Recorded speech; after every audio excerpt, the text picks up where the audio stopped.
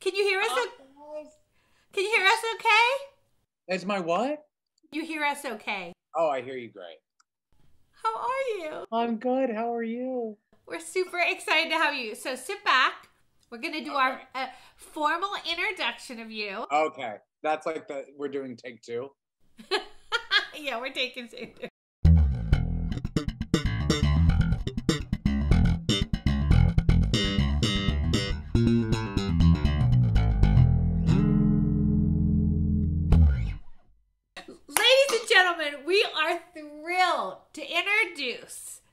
Amazingly talented Pittsburgh born and bred Leo Ash Evens. He is an alumni of Carnegie Mellon University.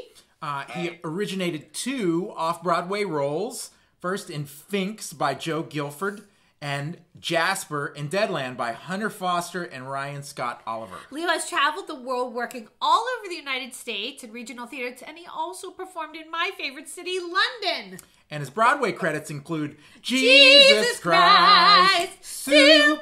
Superstar, Shuffle Along, and School of Rock. One of his proudest moments was playing the MC in Cabaret. Willkommen! Bienvenue! And he won a Best Actor from Houston Excellence Awards. Leo also teaches. He is in his 10th year with the musical theater college auditions, and he is now an assistant director and co director, co owner of the team. He helps young artists find the right program, the right match for them as they travel um, forward in their education as artists, and coaching them to trust their instincts. Ladies and gentlemen, that's just a small little preview of our amazing guest today. Ladies and gentlemen, Leo! my God, that intro. I need you guys to do that every day for me. We do. Actually, we're gonna call you every morning and leave that on your on your answering machine. Yeah. I Um, so we do this introduction because we share these interviews with our students and we want them to have like a little background of who the person is where they come from and um, the first question we want to ask you is where are you calling from and how are you doing I am calling you from New York City. This is my new condo that I bought in this crazy pandemic. I bought a, a, a condo. I'm I'm I know, right? I know. I love it. I love it. Yeah, I I it was crazy. I had actually been shopping for it before the pandemic and then it didn't look like it was gonna happen, but then it still happened. So I'm calling you from New York City. Um, I'm uh, in Washington Heights, 116th between Frederick Douglass and Harlem. Or what? I'm in Harlem between 116th and Frederick Douglass. fantastic Awesome. So tell us how you've been doing since the pandemic started and what are you doing to stay creative and stay inspired as an artist? I yes, I mean I I'm very fortunate that I've always had my work with the coaching team that I am a director and owner of, as you guys said in that wonderful intro. Um, so I've been so busy, and I've I've you know successfully pivoted. You know the word that we all use these days. Um, it's been hard. It's been really exhausting, of course, mentally, and then just you know personally because I've I've just managed to stay healthy. Thankfully, that's been, of course, the most important goal. So um, I'm grateful that I've had my health through all of this, but it's been yeah, it's been really taxing to kind of in, embark upon a year which you just don't really have answers since it's uncharted territory. And um, you know, I'm just grateful. I mean, the students in about a month of my work with them, I quickly realized I needed to stop talking about Zoom and I needed to stop talking about online and virtual because they were looking at me like, Leo, I'm ready to learn and go to college. So I'm good with it. Like we I know it's not the same, but I'm ready to learn. I want to I want to go to college. I want to make this my living.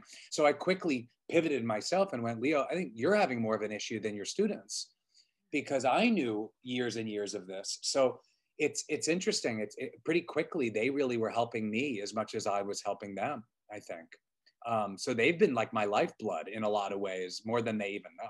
i think we can definitely attest to that i think Yeah. we can agree with that did you stay in new york city the whole pandemic I was I, I I was at the very top of it. I had been doing a production of Ragtime. I had booked Tate, which was like my dream role, Chris. I was so like, ah, of course that one I lose. It was a, it was like a week and a half in and it got canceled. I was doing it out west. And then I came back to New York and a lot of people said that to me like, are you sure you want to stay there? for me, if I left New York, I think I would have been more anxious because I would have left my home. And since this is my home, it, it did give me comfort to feel like I was here since it's home. Yeah, I get that. I know a lot of people that a lot of actors in New York were like, "We're going back to our parents' house." You know, there was yes. a lot of that. But I get that. I get wanting to stay in your in your little nucleus where you feel safe. Totally. Um, you'll play the role again. Don't worry. Uh, well, what's great is that TheaterWorks already said it's on the map for 2022 in the spring. So I'm just like, I'm like, I hope that happens. But I mean, why would it not? This thing is escalating so fast, this vaccine. I mean, yes, yes, 100%. Okay, so we have so many questions, but you actually, I think you made us pivot to this question. Oh, that's a good one. Yeah. So, can you tell us why did you turn to teaching? um, as an artist because this is something that we're really familiar with. Uh, it's always interesting to hear people's stories, how they got into teaching. Yeah. You know, what other challenges have you faced in this last year teaching online and yeah. having to instruct students this way? Yeah. I got into teaching pretty quickly into my performing career because because I got to go to Carnegie Mellon and receive such excellent training, I was working successfully pretty quickly and, and continuously. And I knew it was because of my training. I knew that I had the foundation to support not only booking a show, but doing it eight shows a week. So I knew I knew that I was so grateful that I got to experience that. So it made me very passionate to want to, you know, help teenagers pursue their dreams the way that I was able to. And you know, I quickly found that my coaching, because when I first started off, I was just a monologue coach. And I, I quickly learned that through all of my monologue coaching, it was it was making me a better actor. And the acting was of course feeding my coaching. And right it's like you were it was fascinating right? Yeah it's fascinating to me because you know now through the pandemic when i see so many people go well i'm going to teach. And i and i kind of i it's interesting to me because i'm like oh are you gonna just you know? And because it's so something that it does take so many years and years and years of doing it to really feel because i didn't call myself a teacher for years. I i only said a coach and i remember someone very wise said no leo you are an educator. You know and i said yeah i guess i am you know? So i've always done this juggling act this this multi-tiered faceted artistic career of my coaching teaching my performing and then i got into voiceovers a lot into new york city in in the middle of my time here too. So I, I kind of always just wear a lot of hats, and um, I just I like it that way.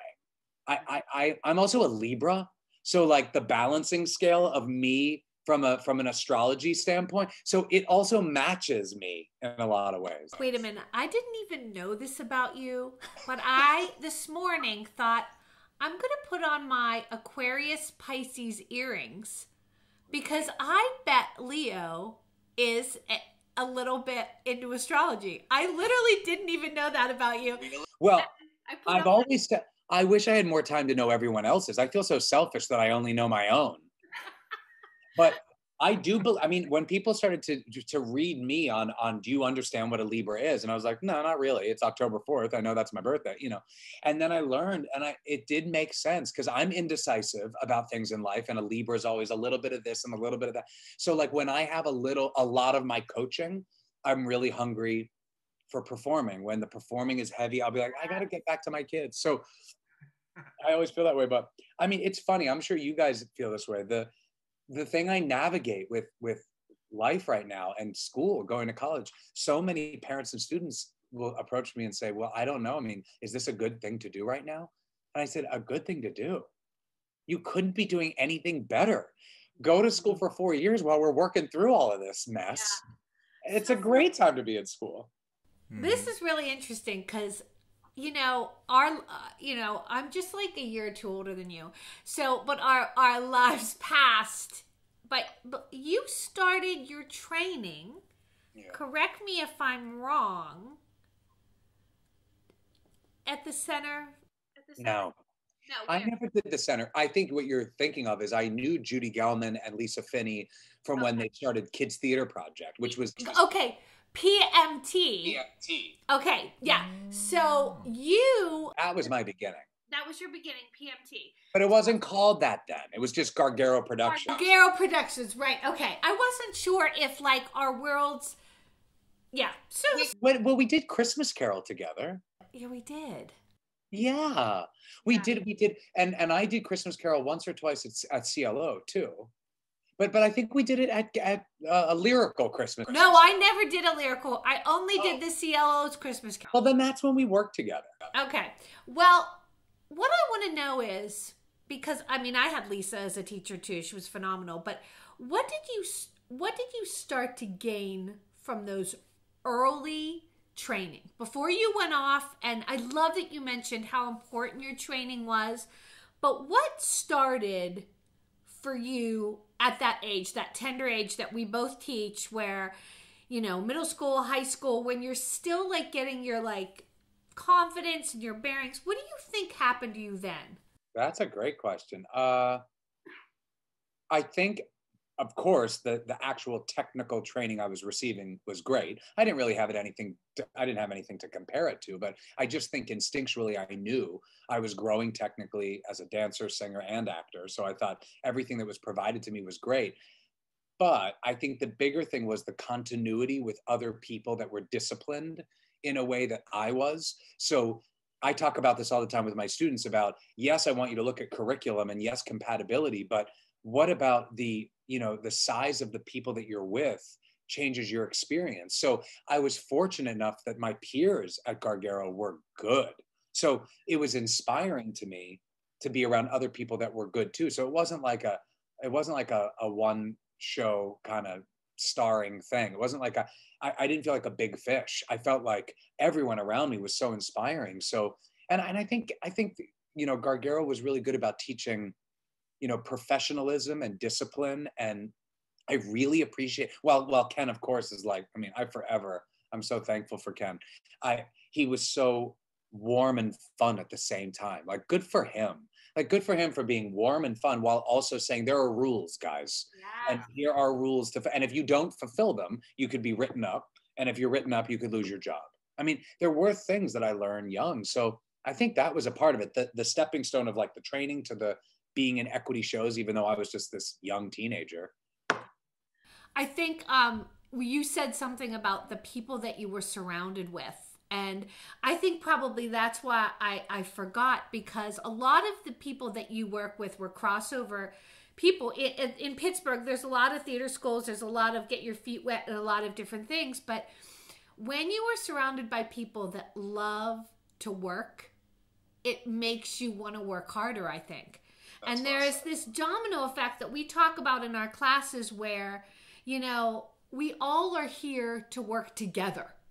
And if if one or two of you pull away, you're going to pull that momentum away from everybody.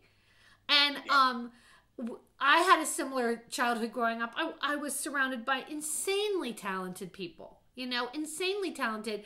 And it and it made you like continue to want to elevate and, and work harder. But one thing we've struggled with with the pandemic is like kids don't want to turn their cameras on or they're now inhibited to share. And I keep wanting them to know that by being part of sharing, by being part of the unit, you just make yourself and the group stronger. yeah yeah i think that's really well said i mean i think the you know the, the class can only move at, at the pace of the most negative person in the uh, you know you can't move the class along if that gel and and momentum isn't there. So yeah i, I agree. And and the struggle of it's you know when people say oh well it's it's the same or or it's it's not the same. I mean this virtual stuff is is not a replacement but the alternative to not doing it is what?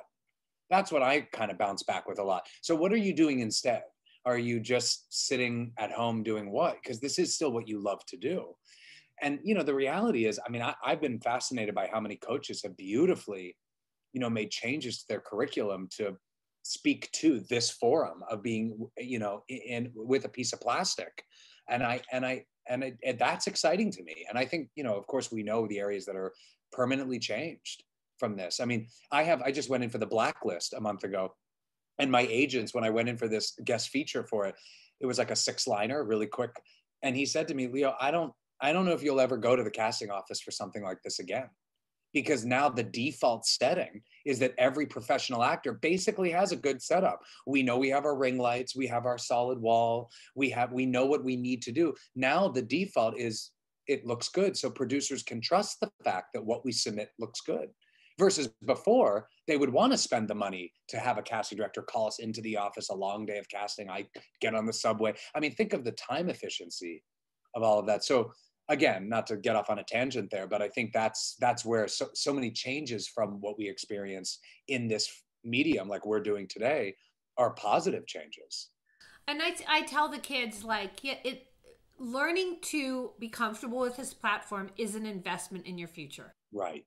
Learning to know, and and for you too, with your. You oh know, no, yeah, I was gonna say. I mean, for music, certainly we've moved into a phase where everybody has to have some kind of recording set up at home. Yeah. And if we're gonna make music together, it's got to be emailed, and we're it's changing hands, and I'm adding my part and sending it off to someone else. Yeah. And we're putting music together that way, and everybody's gear now has to sound good, and and you have to have knowledge of recording techniques, and it's it's moving. I'm excited. I feel like it's moving into another phase. Yes, and it's it's growing. Yeah, it's growing, and it did, and it just it just fast forwarded it so fast. I mean, because things were I was already starting to do more self tapes as an actor and helping students with pre screens. That was something that was already growing and growing. So we were moving in this direction. It just happened really fast. It just it was like that that band aid was ripped off really quick. Um, and that I think was the that's what's been so hard with this year is just the the expediency to it it on you know the acceleration of it all. Um, but a lot of it is is good. I mean, I mean, I know that we're gonna get. I mean, I'm sure you guys heard the news about Broadway September 14th, full capacity. I mean, we'll actually I'll see it when I believe it, but but but the but the the fact that the governor at least is saying like we're moving in that direction there's nothing beats live theater so I'm excited to get that back. Well, will you do you do you feel like you're going to get a call? Like, do you feel like will you go back to School of Rock, or do you have other projects? I mean, we're kind of. We're I School of Rock closed. That closed a year and a half ago, so that won't happen. Although, wouldn't that be great if like a that went up to COVID brain there? Sorry. no, no, it's okay. Maybe it'll come back. Maybe it'll be a revival of School of Rock. but I know I, I have absolutely no idea what would be next. I mean, going into the season is just so weird. Like, is it mainly just the shows that were there that closed? I mean, I have ragtime in the spring of 2022. Um, but yeah, I'm just happy to know that we're just. Here's the thing. I I have a very positive mindset. I'm I'm grateful that I get that from my parents. I'm so thankful that they raised me that way and that they come from good families that can have that. I realize that my pers- I wake up with the glass half full, you know. So I know it, it might it's easier for me to say that, you know, than some people that have not been healthy. They don't have employment um, but we are moving in the right direction. So to see that is is enough to get me excited. Well here, here's what i want to know. Okay, as musicians so this has been like an extended practice break for us. Um, we're at home we're practicing we're playing every day hours a day. Um, it's it's it's gonna be relatively easy for us to jump back in to do what we were doing. I think there's gonna be slight adjustment what are you guys gonna do the next time you're in a dance call or it's gonna be the whole process? Cry. Auditioning. Are you gonna have to learn Cry. how to audition all cry over? a lot of yeah well those no kind I- of chops? Because you can't wait, practice I- that. he's not he's not gonna i'm gonna i'm gonna answer first. Okay. Because a lot of times when i'm like sitting at home watching tv or like doing something else creative he's like shouldn't you be practicing your art? Well for us it's like it a lot of it is the muscle of being and listening to other people yeah is playing off of people well that's Right, I right. do that too Right, but for us it's like, you know, I can I can absorb other material, but it is a little bit of a holding pattern.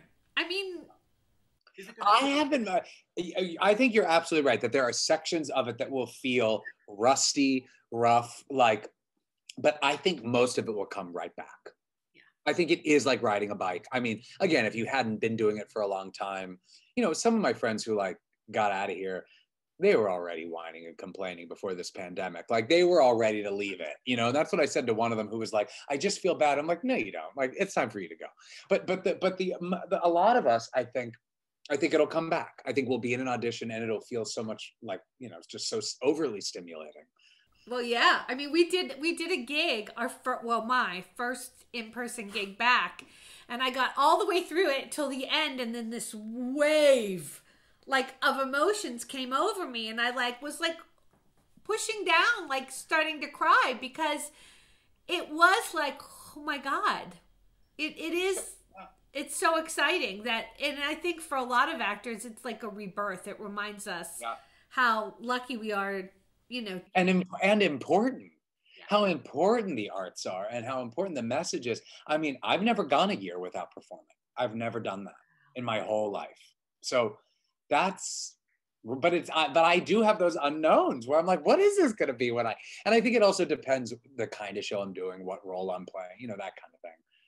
So um, I'm gonna I'm gonna bring you back to the training, and I want to know, and I, and I want r- real talk, like especially because for our students, you know, they look at you and they're like, oh my gosh, he's on Broadway, he's so successful. What are the life lessons you've learned from working nonstop in the business? The real life lessons about why people are hired, why people continue to work, because I think coming from you is going to have a lot of weight. Well, I am a really I'm a team player. I'm I'm I'm someone who works really hard. So I always tell this was this was advice given to me and it's definitely true that in the beginning of your career I was hustling my butt off. I mean, I was working my butt off. So I definitely earned my success. I tell students all What does that mean when you you mean? When you say means that- hustle? Because I know what it means. He knows what it means. But what is the down and dirty? Right. Well, to me, I mean, I had a full like monogamous relationship with show business. I mean, almost to the degree where looking back, I- I wish I would have learned a little earlier, maybe also feed my life with those other things that I love that are not just theater. But in the beginning, through most of my 20s, it was just hitting the pavement. I mean, I, ha- I had an agent, which was uh, wonderful and a good blessing and, and, you know, super helpful for Team Leo, you know, as I started. But I was doing my own auditions too. So I was stacking the deck. I stayed active in classes. I kept up with voice lessons. I had a gym membership. I would go to Broadway Dance Center. Um, you know, Carnegie Mellon was great, but once the umbrella is gone and you don't have that structure, I had to create to the best of my ability things that I knew were important to me to keep keep up. You know, you have to you have to keep up your craft and keep up your your facility and um, I did do that well and but I also was very business savvy so I was hungry. I I wanted to learn what the business was. I wanted to participate in it. I didn't want to sit back and be a passive player. I wanted to be assertive and get my get myself in the game. And then I also like I'm a communicator. I love talking to people. So it was fun for me to get to know who are the casting directors that I'm auditioning for? What shows are opening on Broadway in the fall that maybe I should go learn about or research or go to the library and read up on? I don't know Lerner Loewe like I know Rodgers and Hammerstein. So let me read up. So it's like you, when I was young, I was still letting myself learn.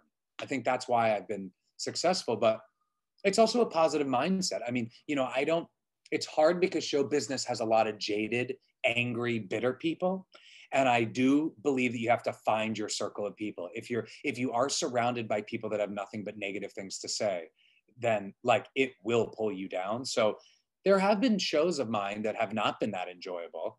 And that is because unfortunately there were more sour grapes in the cast um, than positive ones or not or what's a, what's the opposite of a sour grape? A healthy apple? Juicy. a luscious apple? I don't know.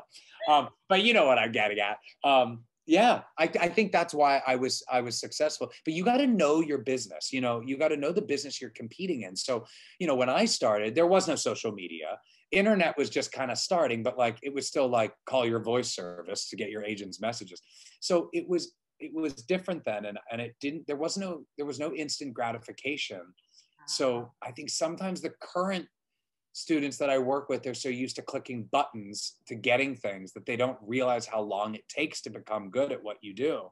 Um, and it feels like the light bulb goes off, but it, it's not a light bulb going off. You have to keep at it. Okay, before because you just gave the best segue to the one question, but um, one thing I want to ask you, yeah, is as I listen to you and, I, and I'm deciphering for my students, so being resourceful, being self disciplined, and knowing that you're always continually learning. But something that I sort of also pieced together for them is to remind them jobs don't just come to you. Right. You, when you talk about hustling, you mentioned continuing to take dance classes, continuing to find auditions on your own.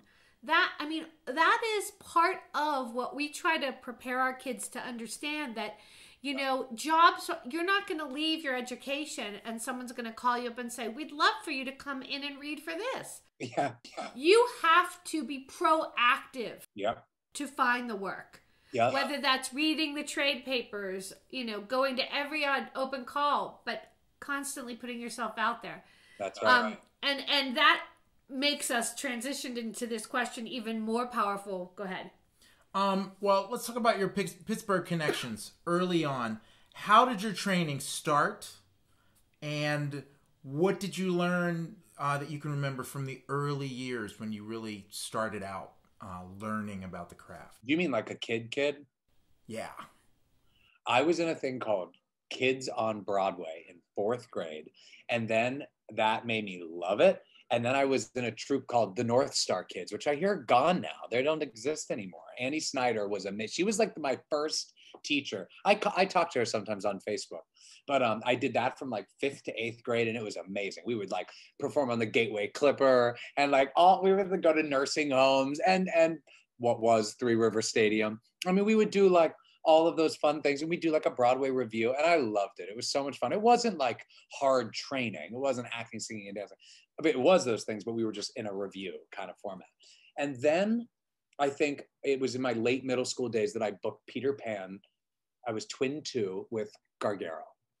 And when that happened and i was on what was the fulton not the Byham but the fulton stage was amazing. And that just uh, that was the birth of like and you know everyone else in the show were like professional equity actors that i was like whoa you can do this for a living? I want to do Okay. you know and then i dropped soccer and swimming and all i did at high school then was was perform. And i was really late. Where did you go to high school? north allegheny. I was at north allegheny. Um, i did choir so i was in the show choir. Um, that was really fun. We would compete every year. I love choir. I miss that. Um, and then yeah and then i didn't do the high school musical a lot because i was always doing shows with gargaro. Yeah. and they were all like like they thought i was a little like too good for it which i kind of was i was a That's Gargaro. actually sort of the similar with me. I didn't really do my high school musicals because I was so invested in my theater school doing their shows. So I get that.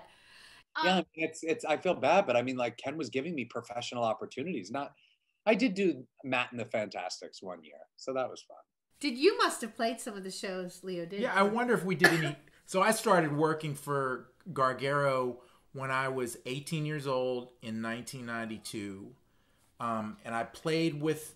I, I stayed. I played most of his shows up until about 97, and then I went on the road for a few years, and then I started working for him again in 01 when I came off of the road. But I bet you're right then, because all of my main years with him were like 94 to 98. I'm sure. I'm sure we did something. Aw, that's so cool. Something to get. Did you name a show? Name a show you can think of from maybe Yeah, 90. Okay, what did I do? I mean, Peter Pan, Big River, Jesus Christ Superstar many times. Evita, Oh yeah. couple Well, we both yes. Godspell. Yeah. I'm, I'm not sure I did Godspell with Ken until after 2000. Wait a minute, what did you do? You did Superstar or Evita? I did Evita, I did Superstar, I did Annie. That was Annie was the first musical I did where I told him I can play acoustic bass, and he was like, "Really?" Um, I did uh, West Side Story. He did several times. I did West Side. Yeah. Did you do it in not? No, I didn't do it in '98. I did it in um, like 2000. You already got I think you both remember the years you did shows. I. oh, That's how I remember.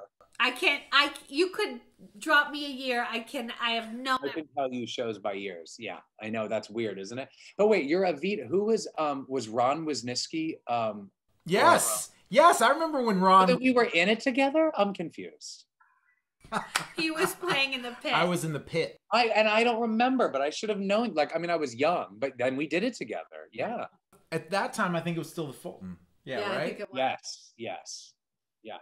When you think back on those days, when you're like first starting out and you're and you're working alongside professionals, which it sounds like you really took seriously. You were super excited. Is there something you go back in time to say to that younger self about that experience or about what was is to come? Oh, I love that question. You mean what would I say to that young Leo in it? Hmm. No one's ever asked me that, Chris. That's a good question. What would I say to that self? I mean, I love it. Well, what would I say? Maybe engage more with those professionals. Maybe I think I was a little too, I looked up at them like I, they wouldn't want to talk to me. So I would look at Ron and I would look at Maria Baycoats Bay. She was always in all those shows. And uh, who else did I really look up to? Tammy, Tammy um, Flodine, you know, oh, uh, uh, Renata and Tony. I used to always look up to them. I mean, these are people that I really looked up to. And I would say hi to them. But I think now that I'm on the adult end, I, I, I would have, because I love talking to students as an adult. So maybe I would have, and they were totally probably available, but I made up in my head that they weren't. Oh, yeah. I think that's really smart because for the age you're specifically talking about, I always say that to my students. I'm like, I'm here to help you. We're here to help you. You know, like this is this is what the arts do. We we we used to say talking about it in jazz terms like coming up, like helping. How did you phrase it? Well, it's uh, it's like a mentorship, and uh, the way you learn is uh, well, you pay your dues, but there, coming there's up, an oral tradition, and, and it's passed on. You you apprentice, yeah, you apprentice with the older musicians, and they teach you how to play. And I love that. I love working with. I love doing a show when there's kids, and you kind of take them by the hand, and you're like, see how that actor like came off book. That's like really good. Like I'll plant, I'll plant the seed in their head, definitely. Yeah. Yeah, right. I love I that. Do you remember um, Kurt Cerny passed away years? Yeah, Kurt. I remember was in Peter Pan. He was a, a um, one of the pirates and Indians, and I remember he did teach me a lot about like dance and working hard. And you know, Leo, if the director says come back to stage right away, come right back to stage. Not because I was like misbehaving, but he he was taking me under his wing in a beautiful way. Oh, I have a great Kurt Cerny story. Um, for years and years, I kept auditioning for West Virginia. I think it was something like, I'm not even exaggerating. I think I went 12 years and I never got hired. Right. And he was always behind the table as like an associate choreographer or, you know, he was like in the mix. Yeah. And I went in another year and I, I sort of started to feel like I was just doing it to make myself depressed. Like, here I go, I'm showing up again. But as we've learned, there is no such thing as a wasted good audition. Right.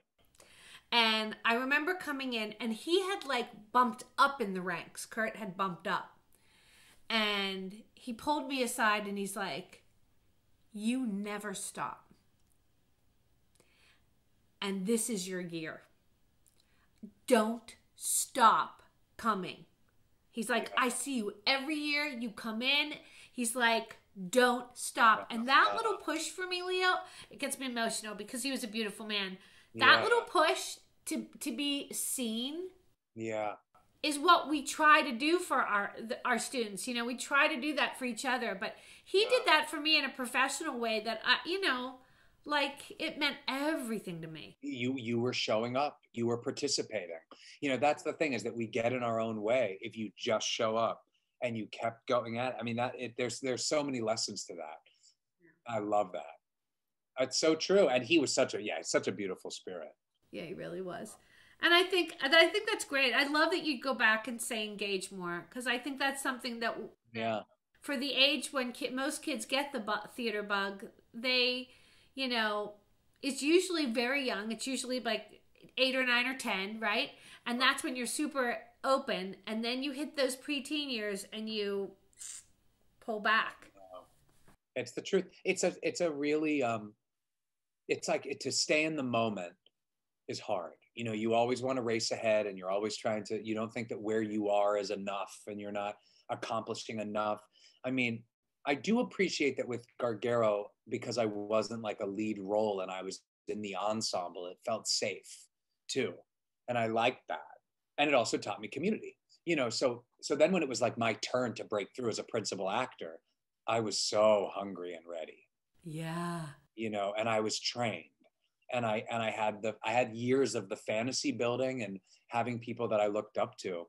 I mean, I sometimes I forget just how how powerful those Pittsburgh years were. I mean, I I went back in 2016 for my cousin's wedding. He still lives there, but my parents don't live there anymore. They're in Florida now, and I, you know, I I don't have the connections there family wise. I do have some, but not as as many. And when I went back, I mean, it was like, it took my breath away. It was. I mean, it's it's my home. and you know what? You'll you'll it has this magic effect. You know, the theaters here will call you back, right? I mean, there's there's some really lovely theaters here in Pittsburgh. You're gonna get called back, and that that pull from Pittsburgh is gonna drag you out of the city. It will. It'll happen. Well, and Ken did call me back in 20 and 20. I'm now I'm blanking on years. This was oh, this was earlier, like eight, 2008 or nine. It was about seven years after I graduated. I went back and I played Ren in Footloose for PMT which was amazing. It was amazing. I loved it. It was fast. It was like you know we. Yeah, we must have. I must have done it. We must have did it. Oh yeah. Oh yeah. I did that in. I did that in like 2000 and like seven, eight, or maybe six, six or seven. I'm sure I did it. Oh and in the same year, Pittsburgh CLO brought me in to play Will Parker. So I played Will Parker in Oklahoma and Ren and Footloose in the same year. Oh my God, that's Wow. fantastic. It was a great Pittsburgh year. Those are two great roles for you, but Will Parker especially, I can see you were like uh, exploding with joy. Like that, I can see that in a in a It's amazing to do. I, that writing is so good. That whole show. why is being self-disciplined so important? Why is it? Like why do you have to keep the drive alive? You know why? Because this this business is is sloppy. This business doesn't provide its own structure. So if you don't set your own self discipline and structure, the the, busy, the business is not black and white. So it's not going to provide you. If you do, if one, if I take this one and this one, that equals two, right? No, not in show business. So it's like you have to find your own track and and discipline within that track of what you want to do. You can't wait for others. I mean, when I did Shuffle Along, I remember when I was doing all my research and I heard George C. Wolfe say, um, "Don't wait for show business to come to you to give you the permission to do what you want to do. You have to go out and get it. You have to go out and find it." Billy Porter talks about this all the time. Is George, of course, is such an inspiration to Billy, and Billy talks about that a lot. That he'll that he was inspired by George saying that, and and now I'm I'm right there with him. How I fun mean, was it? How sur- how sur- well that's an amazing quote cuz that that is that's Don't wait for the show business to give you the permission. It, it's not it's not someone saying yes chris will hire you. Yes leo will hire you. It's not that. It's you have to go out and i mean i remember i had got i was up till um, the end for Buyer and Cellar they were for the standby not for michael Urie, but but to stand by for michael Urie in Buyer and Cellar and i didn't get it. But i remember i had worked on because that's a one-man show. I had worked on the sides relentlessly. I had callbacks. I mean i had learned a lot of the and i remember i was so frustrated. And then one of my friends who's not even in theater he was like well can't you like rent one of those studios? And like we'll all watch you do it. And i went that is an excellent idea. Why do i have to wait for Buyer and Cellar to hire me? Why doesn't leo learn the rest of the show rent out a studio Ripley Grier put up, put up 25 folding chairs get a pizza for everybody it was amazing. I mean, that it was like the best about, and that's the example of don't wait. So that wasn't about the flashy main stage credit with costumes, Broadway credit. It doesn't have to be all those things. And then by doing that, of course, I was smart in who I invited. Of course, that got the word out of like, wow, Leo's great at this, or and you know, it, it that all leads. That's that whole showbiz story of one thing leads to another. Well, you know, it, I think it's also where we come from in Pittsburgh, that hustle. It, it comes from our Yeah. training, it comes from where we grew up. And um, so this year with my kids, I told them they all had to write an original cabaret because I was teaching virtually and I spread it out over seven months. And I kept saying to the kids, this work that you're doing is making it happen for you. Is is putting out in the universe, showing people how talented you are putting your best Right. foot forward you know and so we uh, that mentality of like, yeah, making it happen for yourself is, I think, at the heart of the best artists. The people that hustle and create art and make opportunities for themselves are the people that just thrive. Yeah, and you use the big word before proactive. If there isn't something proactive in the way you go about this business, I, I just don't think there's that many people that sustain a career that way. You just you can't sustain a career if you're going to depend and wait for on others. You you have to have that own voice within you. And then of course, the the hardest thing, I tell this to my students, you know, who who were just finding out about where they got accepted to college and then of course where they were rejected, that we can't give people on the other end more power than is earned. So if if someone on the other side says no, unfortunately it's a no for now and literally only for now and it's what you're going to do with that no you can you can mourn it i let my students be upset for 24 hours and i said after that no more is that what you say too I say you can sit on the couch and eat ice cream for a whole day. yep And then after that, it's done. That's But it. you can give Right. yourself a whole day. That's exactly what I say. I have a friend who does something that I think is great. I can't do it because I'm just Jewish and I can't wait. I can't do it. But he rips up his sides as soon as the audition's over. Oh no, I can't do that. Right. Because I'm like, what if I get a callback? I'm going to have to reprint that paper. I am exactly with you. I'm like, and then, but this is the embarrassing thing, Chris. When I moved here to this new condo, the manila envelopes of sides and sides and sides. Sometimes it was the same show with the same, like a couple different Will Parkers. Leo, what are you saving? Well, no, no, no. I I get it. I'm exactly the same way. I have like a my little office is like an explosion of that stuff, but I'll find sides which now I'm too old to play and I'm like I should probably hold on to this. And then I'm like, wait a minute. I'm like this is never going to happen, right? But I get that feeling of like you justify it. You justify. But yeah, I mean that that yeah, I mean I think that the the the ripping up is a great omen that it's just like now it's over. He's done with it. Water under the bridge. Yeah. I think that's great and I love that you say that to your kids cuz I say the same thing. Oh. And and there really is something into if I always say to the kids, if you really have given everything, if you've put everything into it, then the 24 hours is like it's like mourning the work, right? It's like it's like you know, I, I'll spend hours and hours and days and days preparing for an audition, and then you walk in and you feel great and you don't get it. Saying to yourself for that next day is like, man, I'm sad that they didn't see how great I was, but I'm gonna get over it. You know, I think there's something to that little process. You have to believe that you're the best. Yes.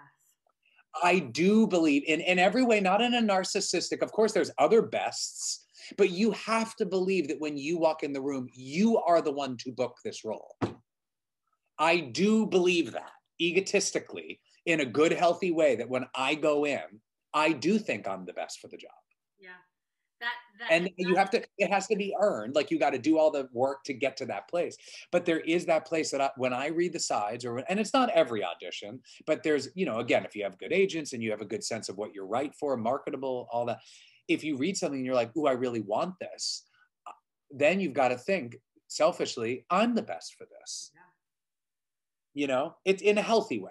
In a healthy. way right because then you also when you are in the mindset that you're right for it then that connection with the character is so much more seamless when you're confident and you've done your work like you said then it's like foom it it it fits it's the people that are like ah, uh, when you when you brought up MC, I mean the MC. I'm so thank you for saying that because a lot of times people will just rattle off the Broadway shows. If you really ask me what is my favorite role today or experience today, it's not any of the Broadway shows. It's actually Cabaret. And and and I did that role twice. And when I auditioned the first two three times, I never booked it, but I kept getting so much better at it. That time that I booked it, I went after it. They wouldn't see me. They said, "You're too young for the MC for this production, but we'll see you for Ernst." And I was like, "All right." So I went in for Ernst, and the, and the song that they asked you to sing was a Kander and Ebb, Ebb song. So I was like, "Well, I'm going to sing the opening." And after I did it, the director said, wait, you have the sides for Ernst? And I said, yeah. And he said, I need you to look at the MC. Can you come back and read for the MC? And I was like, yeah, sure, I can do that. You know, so I did it. Yeah, I did it. It was my idea. The casting director said, no, he's too young. I always think in moments like that, casting must think that's so like, this is weird, you know? But no, but you you you do what I say to my kids: leap, and the net will appear. Yes. So you left. You said, "I know I'm right for this. I know that I can right. do this, so I'm going to leap anyway." And I'm going to leap. It wasn't disrespectful. You still had prepared what they had asked, which is essential, but you also leapt and you said, "I'm going to show this side of me too." That is like yeah. genius. Yep. It's exactly right. And and then you leap and you have to trust that there are people on the other side that that sync with you. Yeah. And then he did. This guy didn't know me. He was like, "Who's this Leo guy?" You know, and there were other people in that hallway that had much bigger credits than I did. You know, and I remember the monitor, who is a great equity. He he's amazing. He said to me, he said something along the lines of, um, after I booked it, he saw me. He said, "Leo, that was your day. That was your day." which I thought was so great because sometimes when I have a bad day, I'm like, it's not my day. It's just not my day today. This isn't my day. I think that's. but that was my day. You you you made me think of something. I'm sorry, we're kind of going. Oh, it's all right. It's all right. This is. Um, it's so important to do that for people. It's like what Kurt Cerny did for me. It's what the monitor did for you. You know, we are. It is a competitive, sloppy. I love that you use that word. I think you said sloppy industry but it's it's caring enough to know that the good we put out in the world comes back to us tenfold. That's right. And that moment, however many years ago it was that he said that to you, today was your day, that is like the little gem that you put in your box. That's right. Box of stuff that actors carry around. That's right. And you have to believe that then it can be your day again and you and you know it's that whole thing of like people who don't believe in luck or they do believe in luck and that it's all around you it's are you there to grab it all of that i i subscribe to that for sure yeah. so it's even like today like when that announcement was made about broadway coming back full capacity i had a lot of friends that were like well I don't know. I mean, we'll see what the unions say. We'll see what's and all of that is true. All the skepticism or the fear, I, I get but it's like you got to first look at it and go you make a choice hey this is a step in the right direction it's just like anything with show business okay i didn't get it but what did i learn from this what can i take with me to the next one you know i always try to tell students what are you working on as far as what you want to do? Not once you see the breakdown for the show. I was already working on that mc stuff. Yes. You were investing in like the shows that you knew you were right for. Now when you talk when you're teaching kids especially in the past i'd say i'm going to date myself but i'm going to say in the past seven years that the explosion with the obsession with fame on social media i mean maybe i've just i've just picked a number out of thin air do you encounter that with your students wanting that use of social media to be what springboards them? Do you- catapults them? I don't come across too many students that it's more important to them to do the social media than the training, which I'm grateful for. I do because the, the main kids I work with are like the sophomores, juniors, sometimes freshmen, but sophomores, juniors in high school.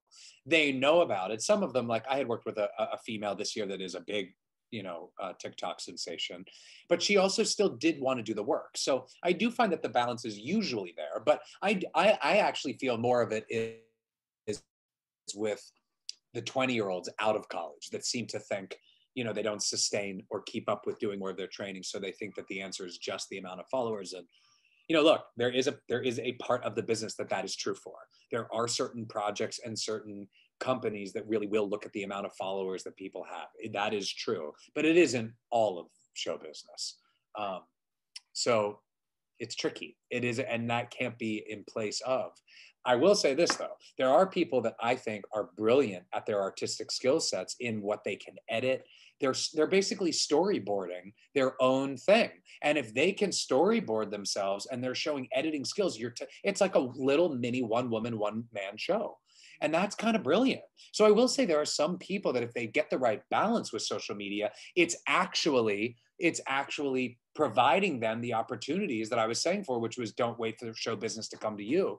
Don't give permission. You can create your work on social. So if your thing is silly improv and you're making up characters or voices, or if your thing is dance and you're always improvising uh, dance routines, if your thing is singing and you're singing in the staircase, my ex he, he's been he's been um, singing songs in a staircase in his building and now it's taking off as like do staircase michael do it do it and he's singing all of his stuff and it's kind of brilliant because he found a quiet place of course the reverberation's amazing yeah, yeah. and it's so it's like, and so you have to so if you use it that way social media is great because then you actually are a commercial of yourself so you know? I was just gonna say it's completely changed music for me.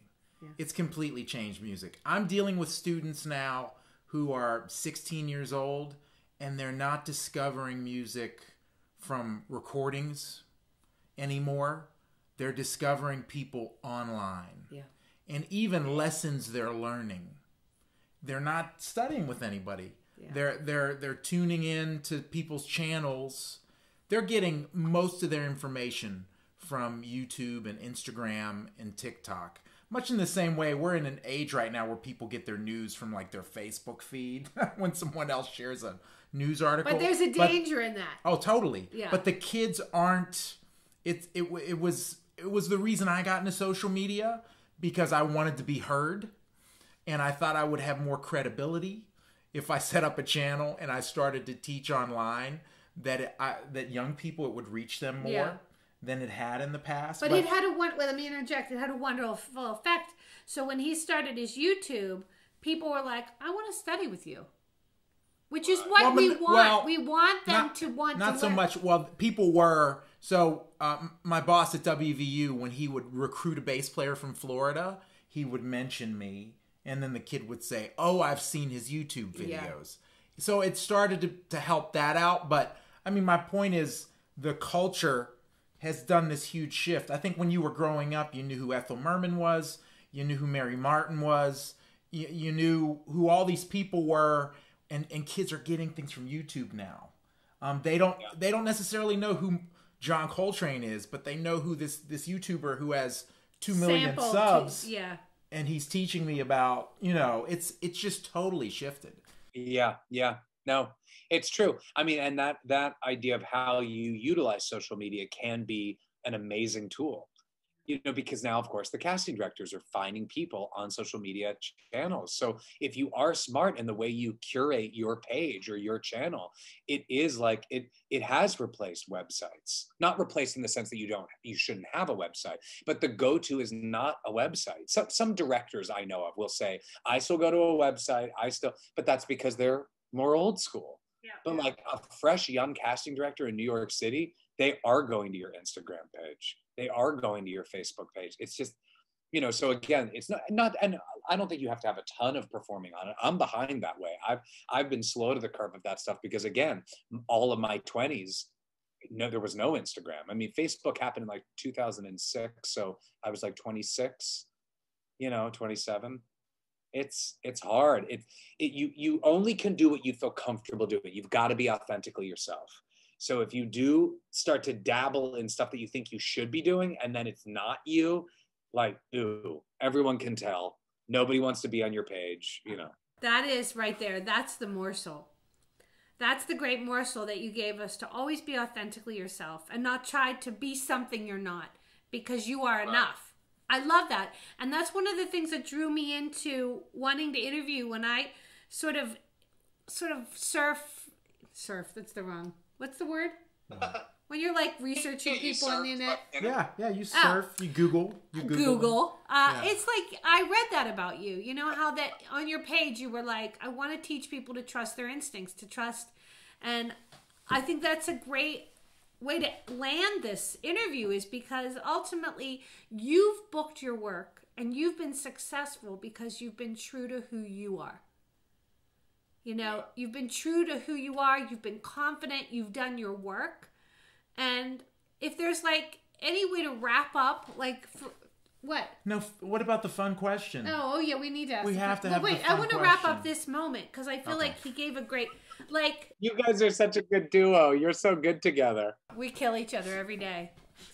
uh, what What do you think? What do you think um, are the like the best lessons that you would tell a kid who's who wants to consider this as a as a career? The down and dirty like facts that you would like land this with. Yeah. I mean, I do remember that Jordan Thaler, who's a great casting director here in New York City, came to Carnegie Mellon senior year, did a master class with all of us, and said, Listen, students, I know all of you have all the talent in the world to book many, many wonderful shows, and you will, but you've got to find something else besides show business that you do enjoy doing for the bad, rough days. And I remember in my arrogance thinking, oh, I'm a senior at Carnegie Mellon. I don't need any of that you know, and thinking I'm not going to need that stuff. And I remember that first bad day, and I was really upset. And I remember J- Jordan like was flashing my in my head. And I when I see him, I tell him that I still share this all the time. And I always have had a huge plant hobby. I'm a big green thumb. There are plants all over this apartment. So when I'm having a bad day, and I got this from my parents, my parents were both gardeners, green thumbs. But that is a great thing that feels good to invest my time in. So while I do want everyone to work their butts off when they're first starting, I do think it is healthy to have those other areas that bring you back to theater too, that kind of channel you back. Because if it's only theater, theater, theater, theater, theater, I think for most people, you know, it's just, it's hard. The other little tidbit I'll share Priscilla Lopez, who was the original Morales and chorus line, you know, um, she was doing a premiere play that I was in with her. And Matthew Lopez, her nephew, who just wrote The Inheritance on Broadway, she we were all sitting around like at the end of the week we all went and got a glass of wine and she said let me tell you guys something and we were all like yes priscilla you know because we were all like exactly chris exactly and she was like just know that is for, for all the hard work that you put into show business it never gives it all back to you. Oh, yeah. So it's to counter hard work, meaning, and her point was you can have a great day, you can be Tony nominated that year, you could have a hit show on Broadway, but it never gives back everything you've put in. And I think what was so powerful for me in that moment was right, this isn't a person, this isn't a pet, this isn't even a plant. It's not, show business doesn't love me back the way it is a business. So it, what it taught me in that moment was you know, coming from Priscilla, who of course we all just look up to and idolize, she recognized good years and bad years. But I think if you said to her, what are her greatest triumphs or, or, or successes, she would talk about her family, she'd talk about her kids, she'd talk about her shows for sure, but that it isn't encompassing of only show business. And I think that if you start to learn that younger, it doesn't mean that you take your foot off the gas pedal. It doesn't mean that you're not working hard, but you have to find those other things that give you joy too. That is amazing. Yeah. I'm just channeling my good people that gave it to me. Well, no, and that's exactly what we do. We keep Yeah. passing it on. We keep passing Yes. on. And I I I got a little choked up while you were saying that because it does it does take a lot out of you. It I've takes a gotta- lot out of you. just hearing you say that reminded me that what a all-encompassing you know emotionally and physically exhausting career it is and that finding Yeah. the things that bring us joy and also feed our creative soul are just as important to find that balance Right. It's just as important to life. And then it actually makes you better when you come back around to do the next gig. So after you've ripped up the sides or you've said, okay, I 24 hours of eating ice cream on the couch or whatever it is, you come back to it and it's okay.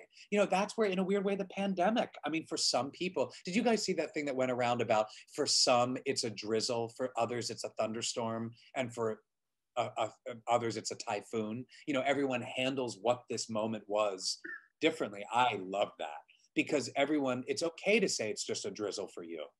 That is okay. You know, you stay healthy, you have work, or it's worse.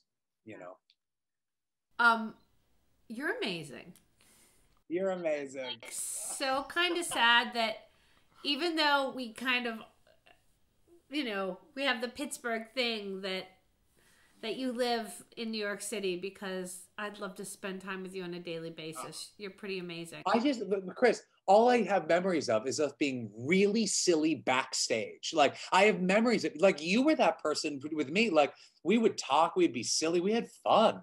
I don't really like remember specifics. I'm kind of a goofball backstage, I won't lie. I know. I love that. I mean, I am too. Well, that's kind of the best part. That's I mean, no, performing's amazing, but some of the most cherished moments are always the insanity. I'm backstage. I just like, or or like, or That's what I can't. go ahead. I can't wait for. I can't wait for it to be backstage again. That's going to be the best feeling. It is. It's gonna be just like, yeah. Okay, so we're gonna do a hard pivot because we always do these questions at the end. Well, just Okay. one. Go ahead, do it. You can ask. Go ahead. So, give me three TV shows that were absolute necessities during the lock- lockdown. That I definitely have the first one, hands down. Ozark. Do you guys know Ozark on Netflix? She I can't do. She can't do violent. I, I'll tell you. Isn't that the best though? I have so many theories for what I think is going to happen in this final season, but that's for another time. Okay, I did love Bridgerton. Oh, I just watched Bridgerton. All is fine and well. Regé-Jean. Yeah. Oh God, I can't handle him. He makes me. Un- I'm like uncomfortable. He's so hot. It's so, he's gone though. Yeah, I heard Done. okay. I think they're. I actually. I think they're in trouble. I think that's actually not good for them. I agree. But apparently, it wasn't going to be about them anymore. Now it's another. It's a story, another story. Okay, what else? I would. What else? What else? Um, I'm sure there is an answer. What was the third TV show? I mean, I always like The Blacklist. I always like. You're gonna laugh at me. The View. I watch The View with those four catty women. They're all catty. They're all like not Whoopi, but the other ones. They're all so silly. But I still watch it. What else though? I feel like there was another Netflix show that like the Crown. Stranger Things. What? The Crown. I never got into The Crown. It's shocking. I know. I know. Okay. Well, wait. I'm gonna. I'm gonna say that I found out that we have something really in common because one of What? well, I mean, one of my TV he- heroes is one of your TV heroes. Oh my God, Carol Burnett. I love her. Now that I have all the Carol Burnett show. Yeah, I could watch that anytime, but for me, she is uh like I know that you got to meet her. I, I would have lost my mind. I probably just oh, would have fell on the floor in a puddle. She's so oh Chris, she and she's so I've actually heard different stories about her, not positively. I have nothing but positive things to say though. I mean, she was amazing. I thought we should end with a little tribute to Carol and to you because this is like my homage to you spending time with us. Paul's going to do a little quick. This is for you. You ready? Yeah. No pressure, Paul. no pressure here. Ah, sorry. Ah.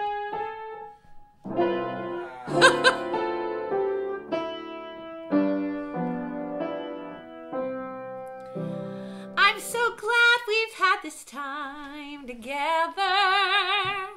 Cause it makes me feel that I belong. Seems we just get started, and before you know it, seems it's time for me to say so long. You, we end every episode exactly the same way. I love you, I love you. and we love. You do that. You do that every time. No, just for you. No, we we played Carol Burnett for you. Just for you. I love that. Oh, that made my night. That was so good. That's so fulfilling. Thank you for that, Chris.